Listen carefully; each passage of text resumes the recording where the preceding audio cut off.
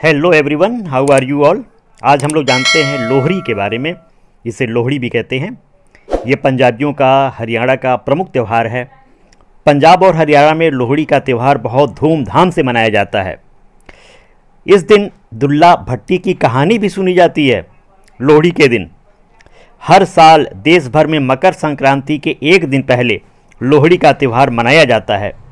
लोहड़ी की धूम सबसे ज़्यादा पंजाब और हरियाणा में देखने को मिलती है। क्योंकि यह पंजाबियों का मुख्य त्यौहार है। लोहड़ी के दिन अग्नि में तिल, गुड़, गजक, रेवड़ी और मूंगफली चढ़ाई जाती है।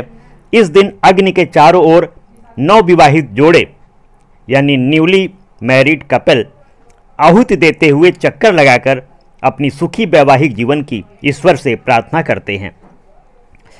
पारंपरिक तौर पर लोहड़ी फ़सल की बुआई और उसकी कटाई से जुड़ा एक विशेष त्यौहार है। इस अवसर पर पंजाब में नई फ़सल की पूजा करने की परंपरा है। इस दिन चौराहों पर लोहड़ी जलाई जाती है।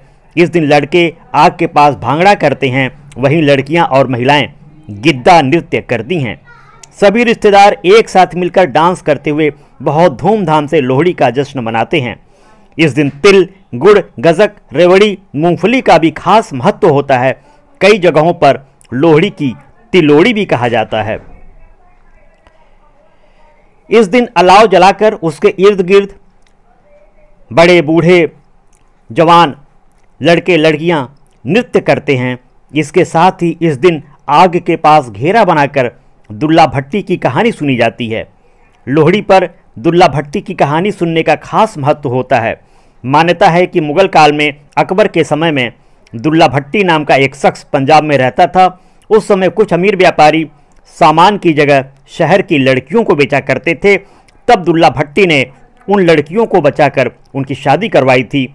तब से हर साल लोहड़ी के पर्व पर दुल्ला भट्टी की याद में उनकी कहानी सुनाने की परंपरा विकसित हो गई। लोहड़ी का त्यौहार, भारत का, पंजाब और हरियाणा खास तौर पर प्रमुख त्यौहार है। लोहड़ी से हमें ये शिक्षा मिलती है कि हम लोगों के सुख दुख में काम आएँ। फ़सल जो कि जीवन का एक बहुत महत्वपूर्ण भाग है। यदि अन्न है, तभी हम हैं। अन्न की पूजा करना, अन्न के उपजने पर, अन्न के बोने पर हम जो खुशी व्यक्त करते हैं, उसको शब्दों में बयां नहीं किया जा सकता है। लोहड़ी का त्यौहार हमें संदेश देता है कि हमें अनाज की पूजा करनी चाहिए और अपने जीवन को बहुत ही शांति और सुखमय रखना चाहिए। लोहड़ी के त्यौहार के बारे में आपको कुछ और बातें भी जाननी चाहिए। लोहड़ी की रात खुली जगह पर आग लगाई जाती है। लोग लोकगीत गाते हुए नाच, नए धान के लावे के साथ खीर, मक्का, गुड़, रेवड़ी, मूंगफली आदि उस आग को अर्पित कर परिक्रमा करते हैं। किसान इस दिन नए साल की शुरुआत मनाते हैं। किसान इस मौके पर फ़सल की पूजा भी करते हैं। गन्ने की कटाई के बाद उससे बने गुड़ को इस त्यौहार पर इस्तेमाल किया जाता है। लोहड़ी किस तारीख को पड़ता है? लोहड़ी का त्यौहार हिंदू कैलेंडर के अनुसार पौष माह के आखिरी रात में मनाया जाता है। सिखों के लिए लोहड़ी खास मायने रखती है। त्यौहार के कुछ दिन पहले से ही इसकी तैयारी शुरू हो जाती है।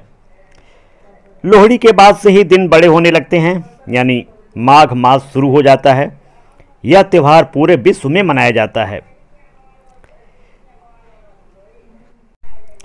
लोहड़ी पर घर घर जाकर दुल्ला भट्टी के और अन्य तरह के गीत गाने की परंपरा है। लोग आजकल ऐसा कम ही होता है, लेकिन बच्चे घर घर लोहड़ी लेने जाते हैं और उन्हें खाली हाथ नहीं लौटाया जाता है। इसलिए उन्हें गुड़, मूंगफली, तिल, गजक या रेवड़ी लोग देते हैं। दिन भर घर घर से लकड़ियाँ लेकर इकट्ठा की जाती हैं। आजकल लकड़ी की जगह पैसे भी दिए जाने लगे हैं, जिससे लकड़ियाँ खरीद कर लाई जाती हैं और शाम को चौराहों या घरों के आसपास खुली जगह पर इन लकड़ियों को जलाया जाता है। और इसके बाद सभी लोग आग के चारों तरफ़ इकट्ठा होकर के इंजॉय करते हैं।